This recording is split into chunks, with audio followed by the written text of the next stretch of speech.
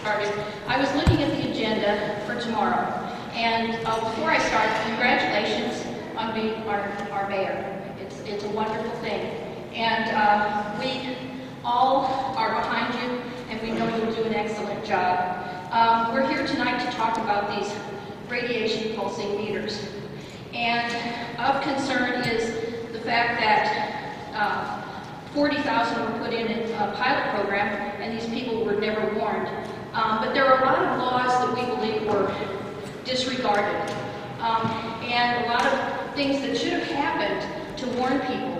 And we believe that, or I believe that Mayor Castro was remiss. And so I saw that you would be uh, going on to the CPS Energy Board tomorrow. We want to make sure that you understand that uh, we are hoping for the best. We don't want anything rubber stamped. We would like for you to get very much uh, educated on this issue uh, of these meters going on homes. They pulse constantly, and they actually use electricity, so they don't save electricity. And they are dangerous. They have caused fires all over the United States. And uh, Josh Hart is here with us from California. Um, so I just wanted to say that we will be watching to make sure that all of the rules in the Public Utility Regulatory Act are followed. And I do understand that there is a burden of proof for um, all of the CPS rates. We want to make sure that these policies have been uh, vetted and that the sti- city council uh, has a real oversight over these things. We know that there is a supervisor of utilities, and so we will be watching Ben Gorzell, and we want, uh, we will be com- coming to you with more questions. And now I'll let George speak, and I I would like one minute to go to Mr. Hart. Thank you. Um, Little exposition on this issue, uh, Mayor Taylor, Mr. Muhlenberg, and Mr. Gallagher, is that we are all uh, in support of uh, the people that are against smart meters simply because I personally have been involved with at least three senior citizens who over the last three or four months came to me and said, you know, my meter, my bills have doubled. And the only thing that changed between the last bill and the most current bill was that CPS Energy went and installed the smart meters without their knowledge and permission. When they brought me the bills and I looked at some of those bills, they had doubled. In fact, one lady had gone to Mexico for the month of December, came back in January, got her bill, and she said it doubled. I'm not having to pay $400 and I can't afford it. My bill normally is $150. And I've been gone for the whole month. What happened was, I said, go outside and tell me what the difference is. She came back and said, they installed a new meter without my permission or anything. I said, well, that's your problem. Go back to CPS Energy and tell them you want your analog meter from me. Guess what? She got her analog meter back. She insisted on it.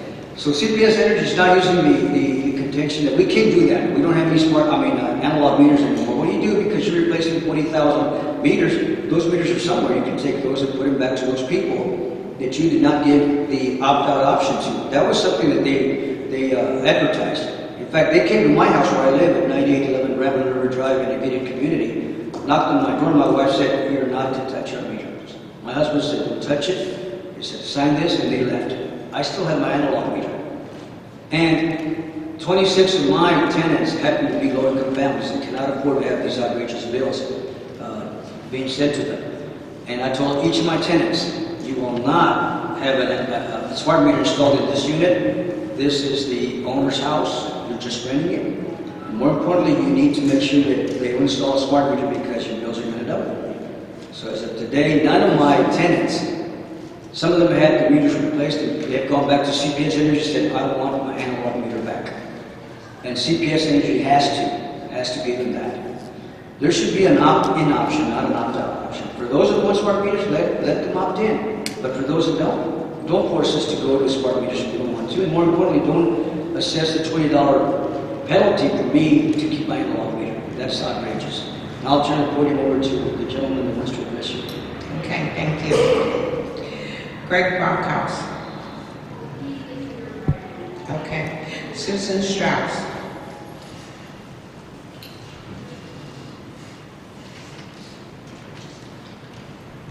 Hello, Mayor Taylor and council. Thanks for letting me speak. We welcome you as mayor also. Congratulations. Um, Well, I represent Alamo Heights and the entire city in opposition to smart meters. We were able to get a delay in Alamo Heights because of opposition there. Uh, I spent about 800 hours researching this since July, and I'm convinced that smart meters are not a good idea for this city. I think that we all need to do our homework, and I would like to see the city council uh, demand that CPS Energy sit here and answer all of our questions. We have a long list of questions, and we want them answered before we start installing this on every house in San Antonio.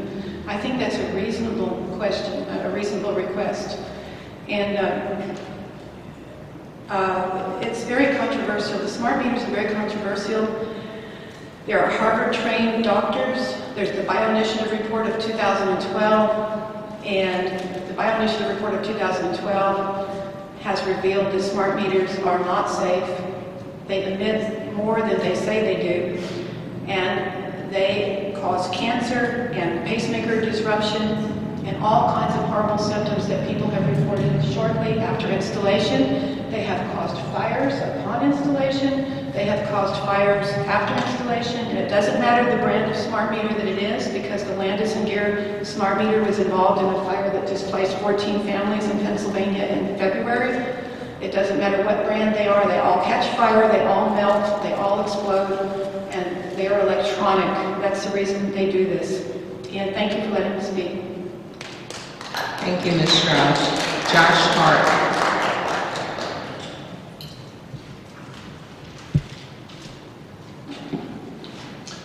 Good evening, Mayor Taylor, Council. Uh, my name is Josh Hart. I'm director of the organization StopSmartMeters.org. I'm out here on a visit from California. Uh, it's my first time in Texas, and we have a beautiful city.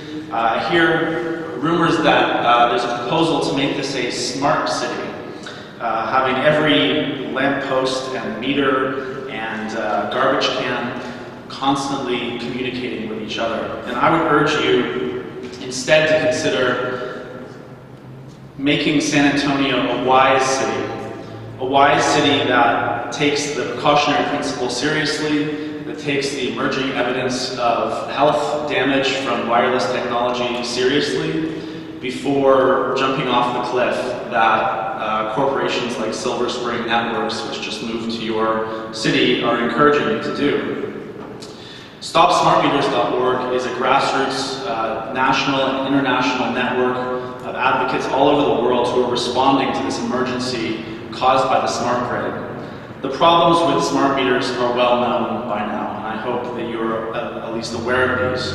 Uh, fire, privacy, health violations, uh, these are real problems and a matter of life and death for people in San Antonio and elsewhere. Uh, please take a look at this literature uh, to, for more details on these issues. But any one of these issues is enough to grind this program to a halt and for further investigations. In terms of fire, there are two main reasons why these meters are catching fire. One is faulty installation. Now, CPS Energy says in one of its publicity documents that professional installations are necessary for safety. Unfortunately, professional installations are not what you are getting here in San Antonio. They are being installed by a company called Corix, which hires temp workers who receive a maximum of 20 hours uh, of training before installing these meters. Many meters have been installed incorrectly, uh, and this results in the meters melting and catching on fire.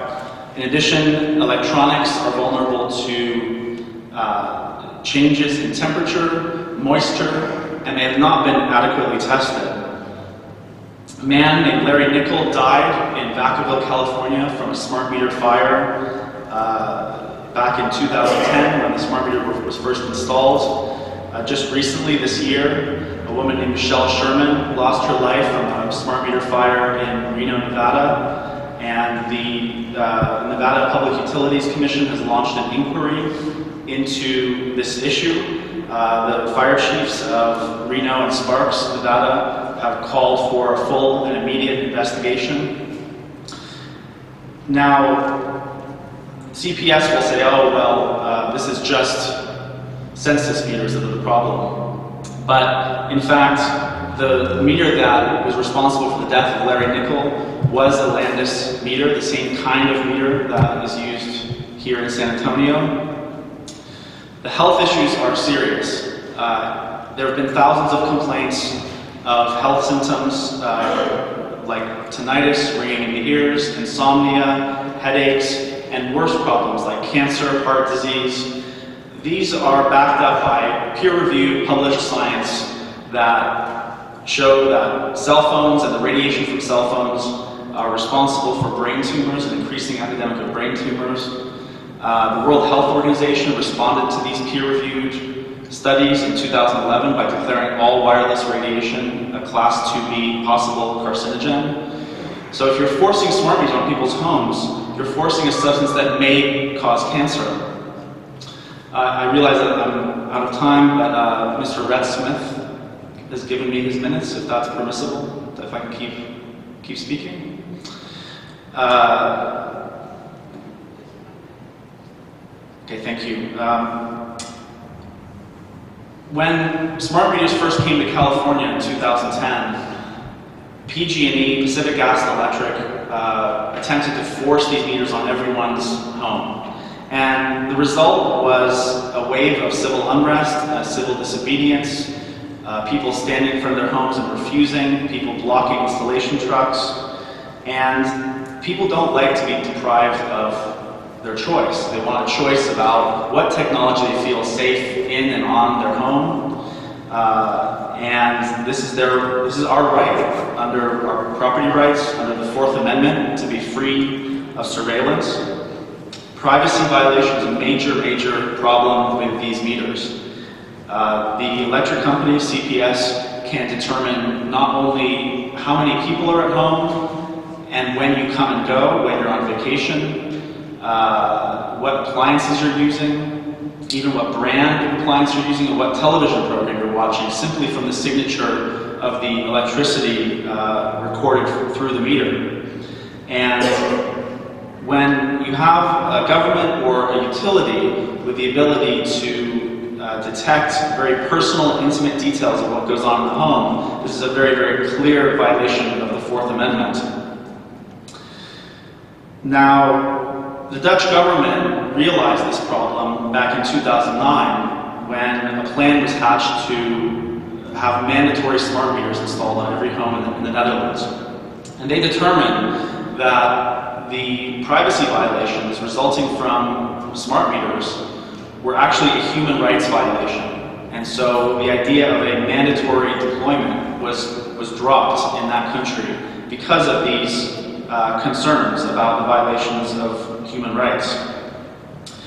Now, yesterday I went to uh, spend time with a man named Oliver who lives up in Alamo Heights. He has a pacemaker. Uh, pacemakers have been known to be interfered with and uh, disrupted by smart meter radiation. Uh, this is according to the American Academy of Environmental Medicine, uh, doctors who've uh, seen problems with interference. And he has a, a bank of seven meters on his wall, another 10 across the way. CPS is telling him they're going to install smart meters on his side of his bedroom wall, whether he likes it or not. And this is a man who's afraid for his health, afraid for his life.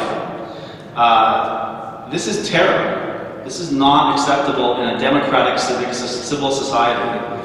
People deserve a choice, an informed choice, and no level of corporate doublespeak can change the fact that this smart grid program is uh, a disaster for human health, and safety, and the environment. Thank you for your time. Thank you very much, Mr. Hart. Mark Pettis.